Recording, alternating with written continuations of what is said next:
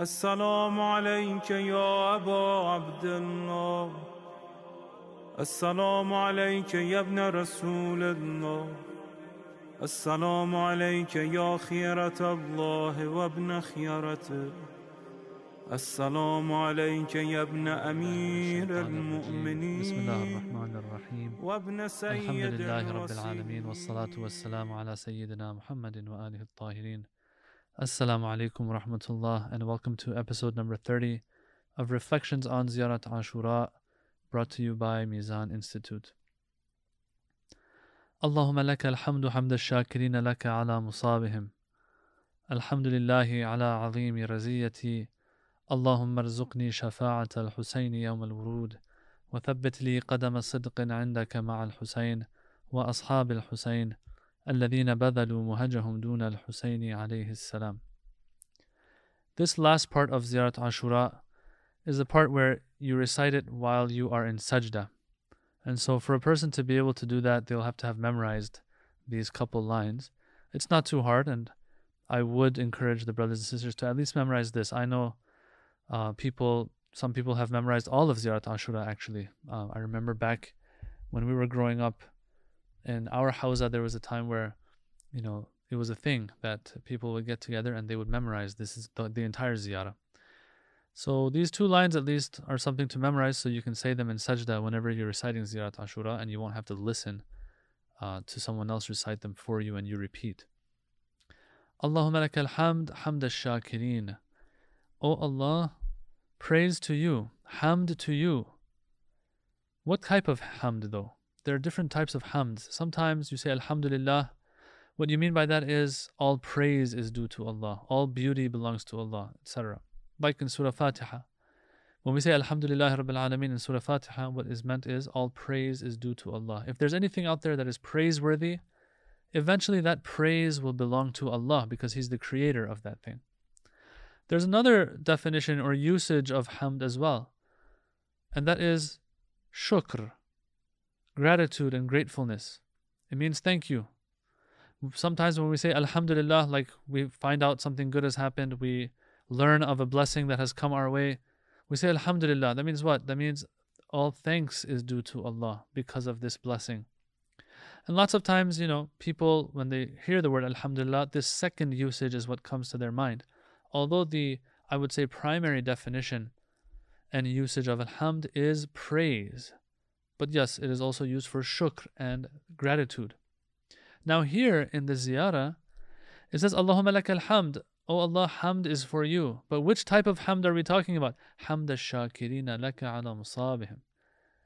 The hamd that here means shukr. We are grateful to you, O Allah, because of the tragedy that befell Hussein and Awladul Hussein and Ashab al Hussein alayhim wassalam. We're thankful. If this ziyarah is in a way letting ourselves know, letting everyone else know that we are sorrowful, we are upset, we are even angry over the tragedy that befell Imam Hussein alayhi salam. We send la'an upon the killers of Imam Hussein and anyone who had anything to do with the death of Imam Hussein. If all of that is happening, it doesn't mean that we are complaining about this tragedy. No, no. Our faith teaches us whatever the tragedy is, whatever the hardship is, and we all have struggles in life, brothers and sisters, we all do. If you ever feel like you've got it going tough, and I say this to myself as well, let us remind ourselves that at the end of this ziyarah, for the greatest tragedy of history, which is the tragedy of Karbala, we're saying, Allahumma laka alhamd, hamd al-shakirina laka ala musabihim. That we are grateful. We're not upset about the fact that this tragedy came. We are upset about the tragedy. But the fact that this tragedy befell Imam Hussein and we are suffering from it, we are affected by it, we're not complaining either. We are grateful for it. A lot of good came out of this. Um, Lady Zainab alayhi salam has been narrated to say on the day of Ashura, Allahumma taqabbal minna hadal qurban. Oh Allah, accept from us this sacrifice. This is something great. If we are making a sacrifice in Hajj, for example, throughout the year. We feed the poor. These are sacrifices we're making we're asking Allah to accept it. Then this is a wonderful thing, actually. This is something to be grateful about. This was also a sacrifice. So, in that sense, we are grateful, O Allah. We are upset, we are grievous. It does not justify what the wrongdoers did. None of that. But we're not complainers either. This was part of your plan. There was no other choice. Imam Hussein had to give his life to preserve Islam. And so some narrations also say that Lady Zainab said that Ma ra'aytu illa jamila. When she's asked by that tyrant, did you see what happened, what your Lord did to you, to, to, to your to Hussein and to your family? What does she say? She says, Ma ra'aytu illa jamila, according to that narration, of course. That all I see is beauty. Wait a minute, what kind of beauty are we talking about here? Well, the beauty in the bigger picture and the bigger scheme, a grander scheme of things. That is what is meant here. So, in the grander scheme of things, Allahumma laka alhamd, hamd shakirin. We are grateful to you for this when we look at the bigger picture. Alhamdulillah, another thing to be grateful about. Ala azimi raziyati. Alhamdulillah, I'm not indifferent towards this. I'm not neutral. I am affected by this. I am moved by this. My heart is broken by this. The greatness of my sorrow is not normal, it's something huge. I'm thankful for that as well. So, this is interesting, brothers and sisters. There are two things we are thankful about. Number one, the tragedy itself. And number two, the fact that we are moved by this tra- tragedy and affected by this tragedy. Because there will be some people who are so cold hearted they could care less about this. There are some who were okay with it, some who encouraged it, some who supported it, some who say it's not relevant to me anymore. But Alhamdulillah, I'm none of these people. I'm one of those who, till today, after hundreds and hundreds and hundreds of years, I'm still living this tragedy as if it's fresh, as we discussed in previous episodes. Okay, so we are thankful, oh Allah. Now that we're thankful, you see, the Quran says when you're thankful, Allah will give you more. Okay, so we are thankful. La in shakartum la azidannakum. If you're grateful, I will give you more. Now that we're thankful, Allahumma rzuqni shafa'at al-Husayni yawm al-wurud. If I am one of those who is in love with Imam Hussein and is affected by his tragedy, is thankful that such a thing happened. I أكرمني بمعرفتكم ومعرفة أوليائكم أكرم مقامك وأكرمني بك honored be my honored me by knowing you O Imam Hussein if all of this is true and applies to me اللهم ارزقني شفاعة الحسين يوم الورود Oh Allah I ask you for the intercession of Imam Hussein on the day when we enter the day of judgment that is going to be one of the hardest days for us Allow Imam Hussein alayhi salam's shafa'ah to encompass us. What more could we ask for, brothers and sisters? Now, the fact that we love Imam Hussein, the fact that we mourn Imam Hussein, it is a it is a big deal. But you know why all of this is a big deal to the point that we, inshallah, deserve the intercession of Imam Hussein? It's because what he did was big. Or else mourning for someone is no big deal. It's not that hard. To be heartbroken about a tragedy is not that hard. But what he did was so great, the greatness of that rubs off on anything that is associated with his tragedy. Let it be mourning for him, remembering him, loving him, all of that. And so, because what he did was so great, O Allah, and he has such a high rank in your eyes, Allah, and I am acknowledging all of that, and I'm connecting myself to that and to him.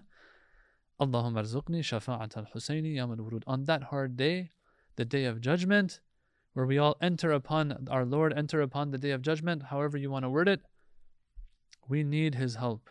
Let Him take our hand, and inshallah He will. Inshallah He will. Imam Hussein is so great that He will take our hand on that day, inshallah ta'ala. We just need to stay steadfast on the right, right path. وَثَبِّتْ لِي قَدَمَ صِدْقٍ عِنْدَكَ مَعَ الْحُسَيْنِ We're also saying this in sajda. Oh Allah, the second thing I'm asking you is that you make steadfast my position next to you, me being with you, O Allah, alongside Imam Hussein and the companions of Imam Hussein alayhi I ask you to make me steadfast. Keep me in that position, that rank that is next to you, O Allah. That same rank that Imam Hussein and the Ashab of Imam Hussein are. Of course, this doesn't mean that we'll ever get anywhere close to their rank, but we're asking, O Allah, there is going to be a position next to you in Jannah I want you to keep me there next to Imam Hussein and the Ashab of Imam Hussein. If I'm not one of them, I can at least cling on to them, be connected to them. So wherever they are, I'm with them, and they're going to be with you, so I be with you. And these ashab of Imam Hussein that are so high that الذين بذلوا مهجهم دون الحسين عليه السلام. Why are they so high? They gave their everything for Imam Hussein. Sometimes we give a little bit, sometimes we give some of what we have, sometimes we give our muhjah. الذين بذلوا مهجهم. Muhaj is the plural of muhjah, which is the blood of the heart, the most important blood in the body. That which, if you take it away, right away the body will die. They gave the heart, the blood of the heart of their hearts. They gave their everything, in other words, for Imam Hussein alayhi salam. And that's why they deserve to be next to him. we want to be somewhere in that vicinity, close to them, somehow connected to them, because being connected to Imam Hussein and Ashabul Hussein alayhi salam will equal me being close to you, O Allah, and I want to be steadfast in that. Brothers and sisters, I want to end with this point that we're always chanting Labbaika Ya Hussein. And this is something that I talk about all the time. We are in love with Imam Hussein. We want to have something to do with Imam Hussein. We say, Oh Imam Hussein, we weren't with you. We wish we were with you so that we were also felicitous on the day of judgment like you are. We're always saying that, brothers and sisters. Brothers and sisters, this, you know what this entails? Just saying it, just expressing my love is great, but is not going to be enough if I want to really get way up there on that ladder of spiritual growth and closeness to Allah subhanahu wa ta'ala. For that, when I say Labbaik Ya Hussein, when I tell Imam Hussein how much I love him, the, the, the companions of Imam Hussein gave their everything. Now, Imam Hussein is not telling me necessarily to do what they did. That was Ashura. It passed. But the least that I can do is to learn my deen properly and live up to it the deen encompasses everything. It doesn't just encompass salat and saum and fasting and, and, and zakat and these things. It's more than that. It's it's controlling my anger when I need to control it with my parents, with my siblings, with whoever it is, my wife, husband, whoever it is. There are so many things that fall into that scope of religion. And so we have to be, at least if Imam Hussein is trying to preserve Islam, who is he preserving it for? He's preserving it for you and I so that we can at least be proper Muslims in, in our lives.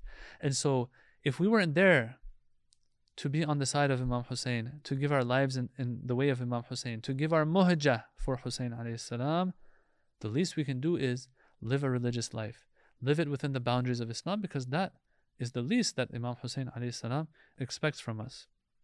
And with that, we come to the end of this podcast series of reflections on Ziyarat Ashura the goal and aim was to touch on the main points in this ziyarah that we have so that the brothers and sisters in the future when they recite this ziyarah they have a better understanding and a better idea of what they're reciting who certain individuals in this ziyarah are what their significance was in islamic history some theological points and so on and so forth and so i thank allah subhanahu wa ta'ala for giving me this opportunity to have this series and i hope that he accepts from me this very humble offering I also thank the brothers and sisters for tuning in, and I hope that they have benefited from this.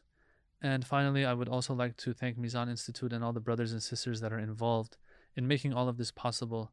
Inshallah, the brothers and sisters out there who are benefiting from whatever content is being put out, they also show their support to Mizan Institute so that they can continue their work in putting out this premium content. وآخر دعوانا أن الحمد لله رب العالمين. Brothers and sisters, please keep us all in your du'as. والسلام عليكم ورحمة الله وبركاته الحسين وعلى علي بن الحسين وعلى أولاد الحسين وعلى أصحاب الحسين